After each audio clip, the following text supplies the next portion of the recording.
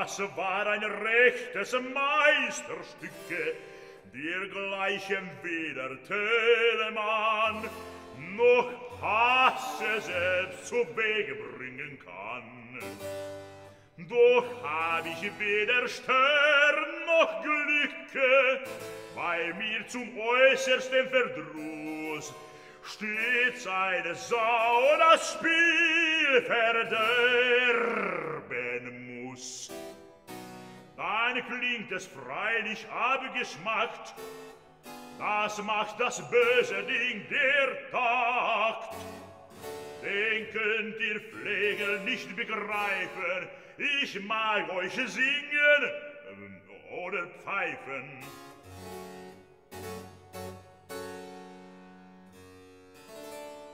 Um euch recht grün künstlich anzuführen, so wollen wir was Künstliches probieren.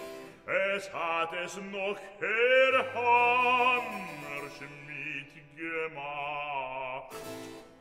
Es geht nach Fugenart, ihr Pengel, Hammerschmidt,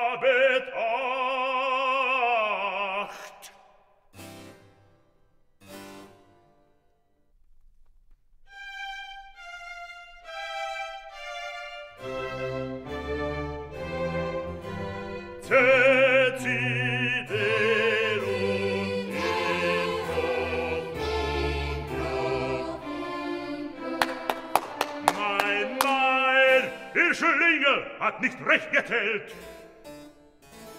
Noch einmal fang ich an, gebt acht, dass ihr nicht fehlt. Zözi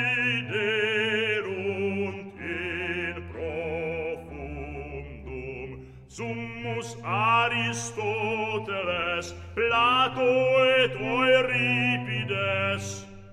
Äh, nun, was ist das? Wo bleibt ihr? Seid ihr stumm? Fürwahr, ihr seid doch ochsenmäßig dumm. Merkt auf. Acht! Acht Takte sing ich erst allein. Dann fällt die zweite Stimme ein. Tecider und in profundum summus Aristoteles, Plato et Euripides,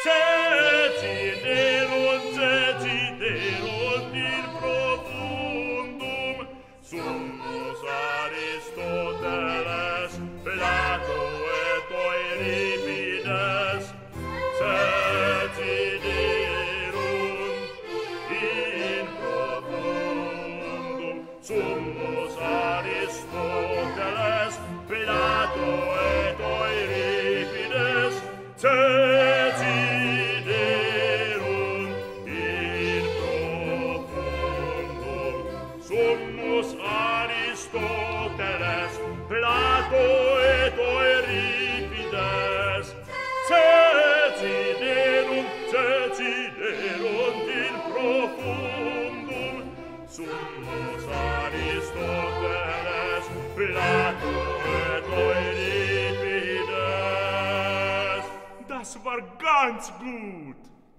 Zählt